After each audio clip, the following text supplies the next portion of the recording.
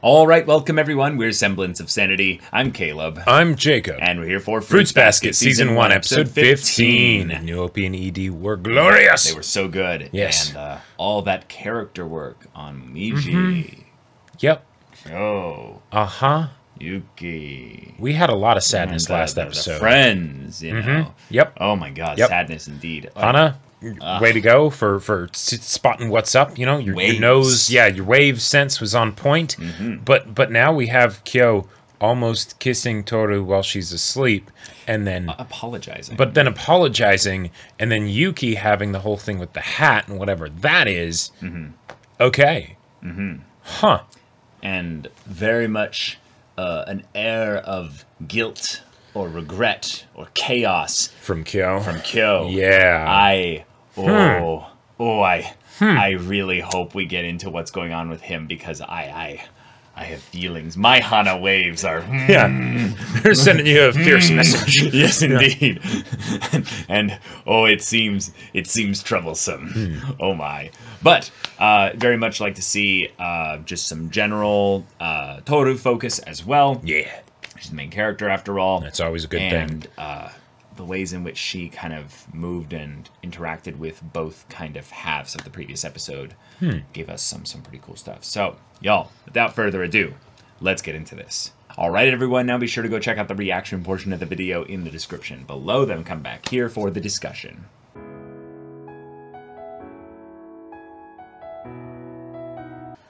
Okay. Okay. Yeah, this was a this was a funny trip. episode, but we have our surprise uh, little vacation trip. Yep. But I like that we have so many characters involved in this. This is not a quiet setting. It No. has basically the, the the two trios, basically. Yep. basically. And in fact, once it got quiet, Tohru started getting really concerned. Understandably so, because that doesn't happen often. yeah, that does not happen often. Now, it's a follow up to the whole stuff with the grave visit in the Yep. previous mm-hmm. episode, Makes which sense. basically tells us that this is something that will get addressed eventually. But as of right now, the boys' response to it is to kind of shut down They're not ready for that. yeah, they're not ready for that. They need mm-hmm. to kind of process their own stuff in there. Yep. And Tohru would kind of need to adjust a bit of who she is, and instead of pointing at herself and being like, "Oh, I must be at fault here," be like, uh, do a healthy form of confrontation and be like, "Hey, what's going on? Talk to me." Yep. And thankfully, we got to that eventually. You know, Mm-hmm. even if it was through Tohru's roundabout way of, oh, it must be, you Right. know, problem must be with me and all that stuff, and you know, slipping Yeah. down the down the slope and all and all that. But Yeah, so that Okay. that chaos basically gave us a little bit of a point for the the boys to steer her in a different direction, right? But they- they also didn't necessarily be completely honest Yeah. into why they're not feeling well. right, and the fact that they don't want to talk about it, that's totally Understandable. cool. Yep. From an episode standpoint, it does kind of it um it's it's basically spending a good amount of time to give atmosphere and say that these characters aren't ready for that. But then that makes me feel like the meat of the episode is kind of more in the second half with Ayame and and just the the trio of the adults and how they talk about things. Yeah, I, I think the main point that we got out of the young trio here is that Tohru and Yuki specifically dropped some very interesting kind of characterization things. One, Yeah.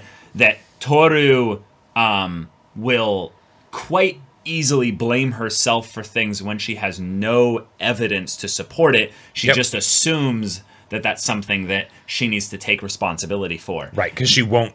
Uh, she absolutely refuses to believe that it could be someone else's problem. Right. Yeah. But the reason for that, I think, that they're hinting at here is that she is so terrified of losing the familial kind of Mm-hmm. Yep.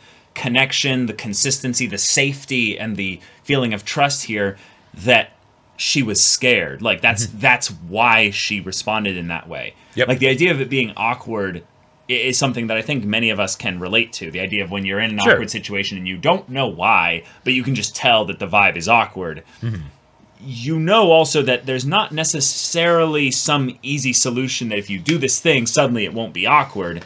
So therefore, it perpetuates the cycle sometimes where you're like, oh no, it, it's going to remain awkward Right. because there's no way around that.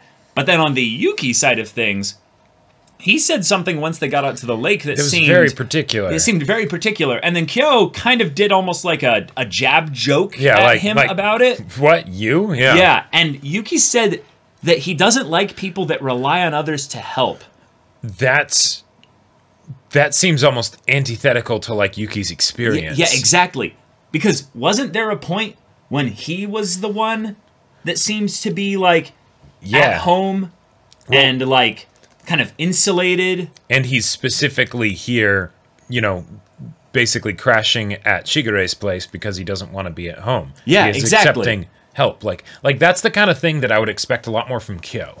Right? Because he has kind of like the fierce independence of I'm gonna do it, I'm gonna go out and train for four months, I'm gonna you know, her Right, but in some ways, I feel like Kyo doesn't have a self acceptance problem in the same way that Yuki does. Right. Yeah, Kyo has kind of more resolved himself a little bit, but he hasn't resolved other people in his life as much. That's why he's maybe so mad at Yuki. Sure. But Yuki, Yuki has got some very internalized stuff here if he Uh-huh. believes this, because I believe that he believes it. Yeah, he said that with conviction. Like Right, like right. Yuki is usually very um not not passive, but um he's he's he's a soft person, right? Yes, So he doesn't say anything with a lot of like harshness to it. And and harshness not necessarily in a negative way, but with like Right. with like bite and and and you know, emphaticness, right? Yeah, look at the way that he talks with everyone except Kyo, basically. Look Mm-hmm. at the way he talks with everyone else. When he's in his mode of just just casual, Yep. he is almost unnaturally charming. In a Right. way that almost makes me feel like he's got a bit of a people pleaser kind of style Sure. of doing things. And even with Kyo, he usually does it as more of like a um like verbal sparring kind of a thing than Yeah. actually truly like being aggressive with him for the sake of aggression. Right, right. It's more it's more mocking and Yeah. teasing than true uh, going for the jugular. Mm-hmm. And this was, I think, a, a moment where he said something that maybe he didn't even mean to say, and he just blurted it out in the midst of his frustration with Kyo. And Kyo immediately picks up on there being some kind of like, wait, what? You're And- kidding, right? Yeah, yeah, you're kidding. And and says that you know, you know, Shigure used to piggyback ride you, give you piggyback rides everywhere. And I'm like, in my mind, I think, oh, that's a cool little fun kid Hmm. memory. But then I re- realized, like, wait, wait, wait, wait. Wait, Everywhere? Like everywhere? Yeah, like- like, and also Shigure specifically. Shigure is the one that we've seen helping Akito in a way that makes it seem like Uh, Well, maybe ha- there was a point that he did this kind of stuff for Yuki yeah, and was just kind of helping him out because piggyback rides in general are more of like a ooh it's a fun thing Yeah, you know, you're, the kid falls asleep in the car, and so Yeah. you know, okay, yeah, or or they're tired at the at the park, you know. but if it's something where it's not where it's for fun but it's because he needs to give Right. Yuki that Because Kyo wouldn't say that if it was just the oh yeah, run me down the hallway really fast. You yeah know, that's like, that's not a jab then right. it's a jab if it's something that Shigure needed to do, Right, a Maybe true felt relying, like yeah. obligated to do, and it was something where, yeah, exactly, Yuki needed Shigure to Yep. Mm-hmm. do that. It's like, oh, wait a minute, wait a minute. And then in their whole present situation, well, what the hell have you been doing with Tohru? Yep, yep. You, you wanna you wanna tell us that you haven't been relying on Tohru? Mm-hmm. The times when she leaves, you're you're beside yourself, right? Uh-huh. So where's that coming from, dude? Like Mm-hmm. I think it's some. I think it's some very internalized stuff that he hasn't accepted within himself. I think that Yuki's um, problem, his flaw, if I if I could if I could nail it down to anything, is that he puts on um, he puts on a bit of a faux happiness, a faux sense of like being just okay and having it all together. And I think he's probably the one of the ones that has the most kind of like like past trauma and shit. Like the Okay. idea of Akito being something that he's terrified of yeah.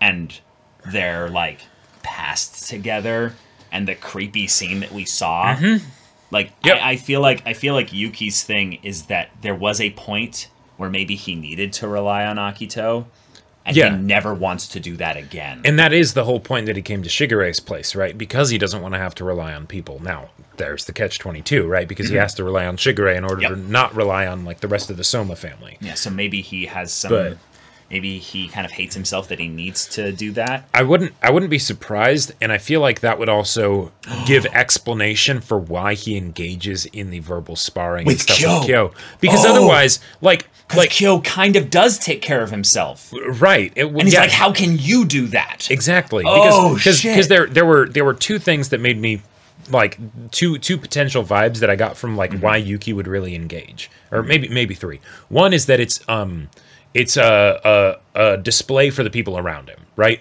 Tohru, you know, Shigure, or, you know, things like that. But that really feels like it holds more water once Tohru shows up. But that was something that they had as a dynamic since way before, right? Sure, sure. The other one is that it's a thing of kind of uh, like like pride, where he's like, ah, Hmm. I know I know how to press his buttons to basically put him down, and that makes me feel good, right? Okay.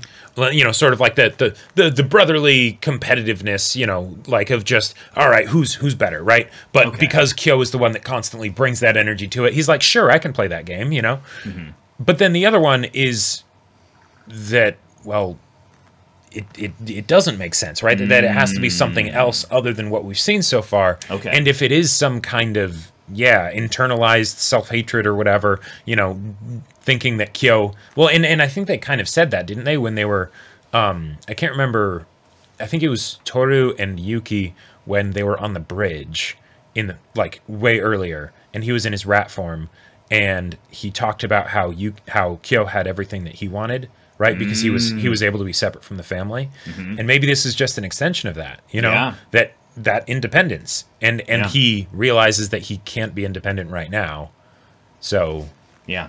Therefore- and, and in some ways, Tohru will be the one that will teach him that it's okay to rely on people. And Sure. maybe the reason why Tohru is someone that he feels like he can rely on is because she's outside the Soma family. Right. She doesn't have all that attached baggage by having the name, basically. yeah what what and what uh healthy relying can look like because Mm-hmm. i get the feeling that yuki has seen plenty of unhealthy relying either from akito Sure. or just, Just from the people in himself because because he was he was forced to kind of right Sure. maybe he had to rely on akito at some point you know Yep. who knows That makes sense. and that that's absolutely something that he would want to get away from but Yeah, and then the way that this kind of ropes back into Kyo is the idea that Yuki could be someone that he really understands and yet he looks up to.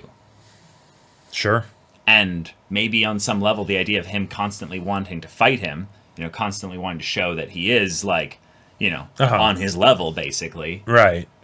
is kind of a way of so saying like, hey, you, stop like, you know, bringing yourself down so low, like I I look up to you. Like Ooh. I I that would be a that would be cool. I'd Yeah, like to see how they, they would handle that. Yeah. But okay, on the adult side of things, though, Mm-hmm. I, Ayame I am a showing up. Just always a treasure I I love him so much. he is a treasure himself. He is. yeah He, he is. A, he's the sex god himself. Just that's just right. showing up.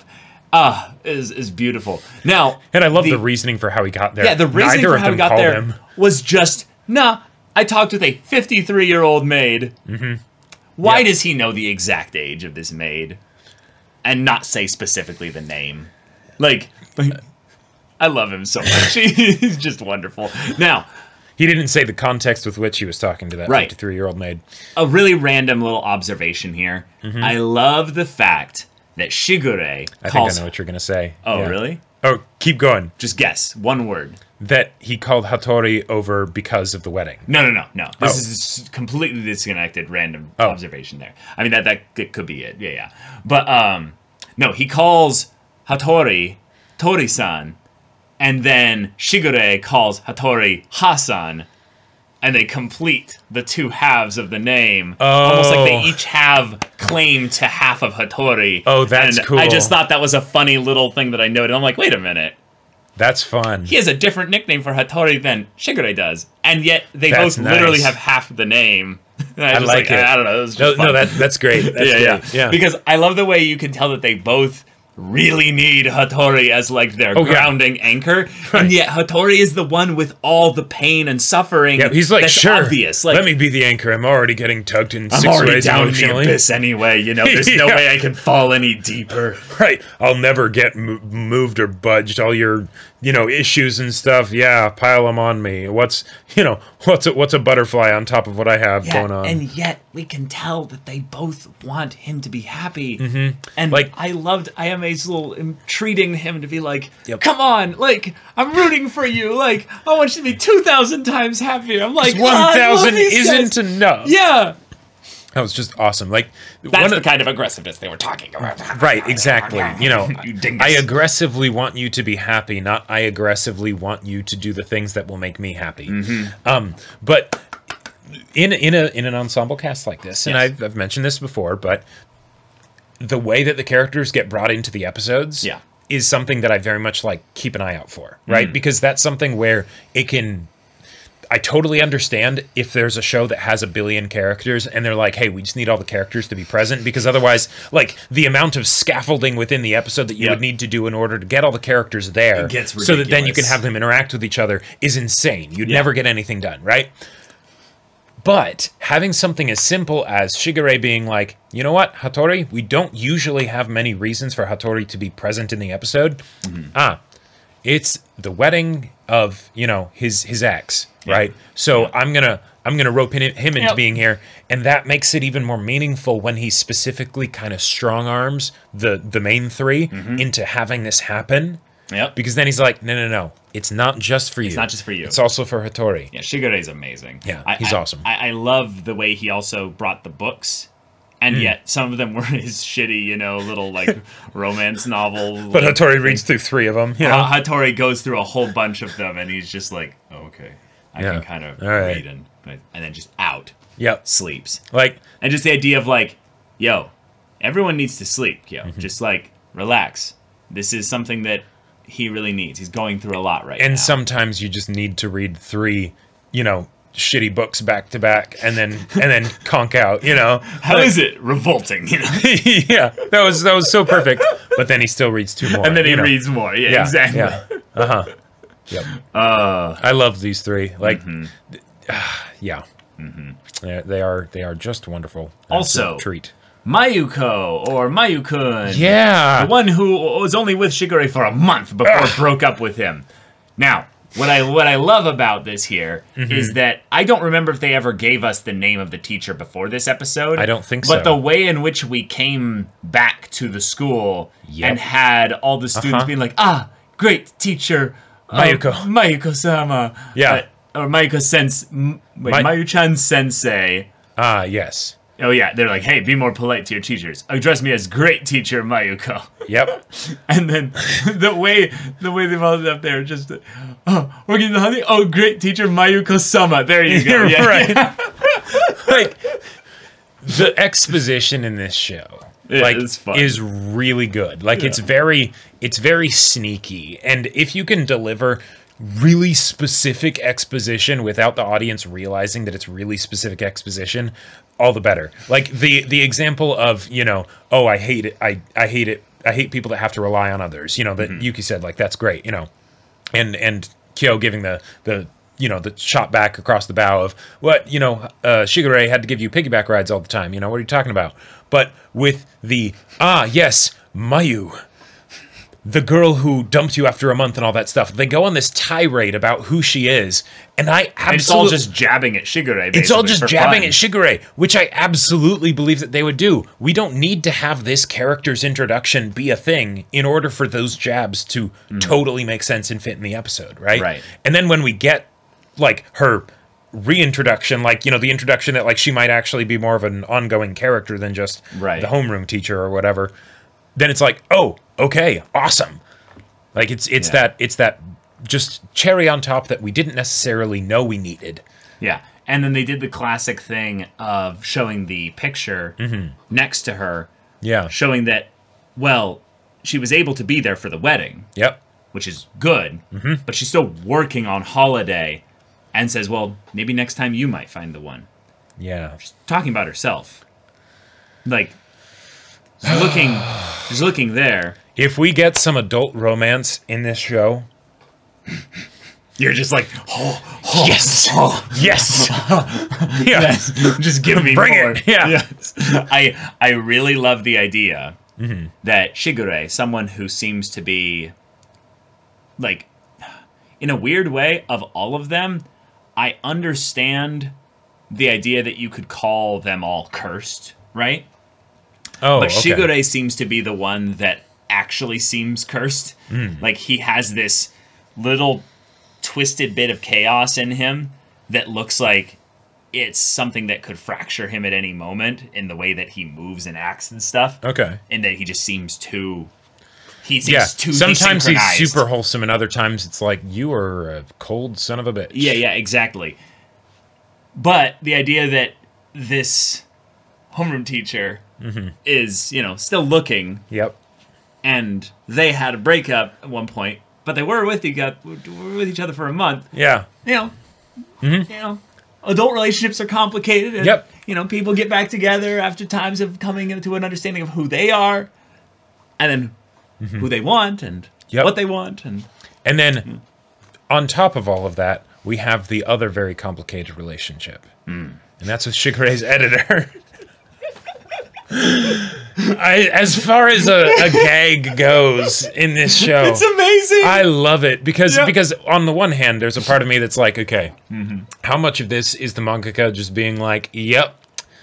Shout out to all you like overworked, underappreciated editors, Editors. out there. You know, I'm sorry, my own editor, for all the times I put you through hell. You know, like just thank you for always being there for me and stuff. But but Shigure just being like, nah, I just disappear. You know, don't, Don't try look for me." Don't look for me. it's just oh, oh, what's going on? I have to hear her panicked call in the dub. Oh yes, I, I've I've Yes. heard um, since before this um, uh, before this episode. Um, I heard uh, what's his name, Ayame's voice Mm-hmm. in the dub. and it's incredible. It's beautiful. An oh my absolute god. wonderful gem. Yeah, and and yet I think the editor's voice of just pure just panic. Yep. Like, Why? What are you doing? You, you promise you haven't done right. You're gonna submit it on time, right? Oh, I I have to. I have to. Yep, But we're still here, we are. so we can carry this over into the next episode. But why are we still here? Hmm. Just to suffer? Hmm. Oh. Hmm. We shall see. We will. We shall see. So, y'all, thank you so much for watching this episode's reaction and discussion. If you want to see the next episode's reaction and discussion right now, though, go check out the link in the description below for our Patreon. You can get an early access there. You can watch full length timer reactions there, and all this comes with Discord access, so you can chat with us in the community there about this show, about anime in general, and also be sure to check out our Twitch channel. We stream every weekday. The info's in the description. yeah, so if any of that interests you, we'll see you there. But until then, we're Semblance of Sanity. I'm Caleb, I'm Jacob. and we'll see you all next time.